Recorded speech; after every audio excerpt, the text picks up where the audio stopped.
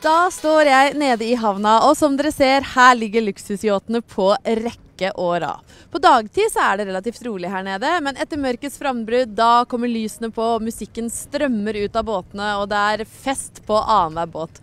Og så kommer de glidende, de svarte limousinene med sota ruter. Og i går så var jeg så utrolig heldig at jeg satt i en av de. For jeg var invitert på fest på båten som ligger bak meg her, Blue Vision. Og det er uten sidestykke den største privateide båten jeg har vært på i hele mitt liv. Den har fire etasjer, to dansegulv, tre barer, en haug med soverom og bad.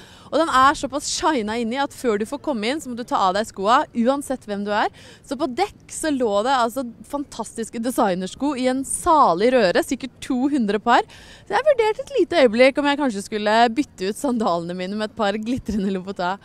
Og bare snaut 100 meter fra her jeg står nå, så ligger den fantastiske bystranda i Cannes med sine restauranter, barer og solstoler. Her sitter jeg og koser meg på den verdensberømte stranda i Cannes. Og i 1953 så var det akkurat her en da 19 år gammel Brigitte Bardot strippa ned til bikini og ble ikon og sexsymbol over natta. Siden den gang så er det ganske mange jenter som har kasta klærne her i håp om at akkurat det skal bli inngangsbilletten til rikdom og berømmelse. Eh, det har ikke funka for så veldig mange, men eh, Arnold Schwarzenegger har sprada halvnaken her nede. Og det samme har Ginger Rogers, og selvfølgelig Borat i sin eh, noe spesielle, selvlysende grønne badedrakt.